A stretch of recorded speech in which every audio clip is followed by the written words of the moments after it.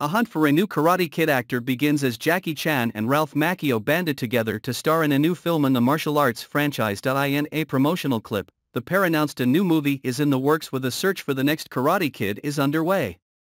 The duo encouraged the young actors to apply for the audition. Meanwhile, the stars, who appeared in different films centered on the franchise, remained mum on further details about the new project. However, it's clear Ralph will reprise his original trilogy movie's character Daniel LaRusso, while Jackie will appear in Mr. Han's role from 2010's remake co-starring Jaden Smith.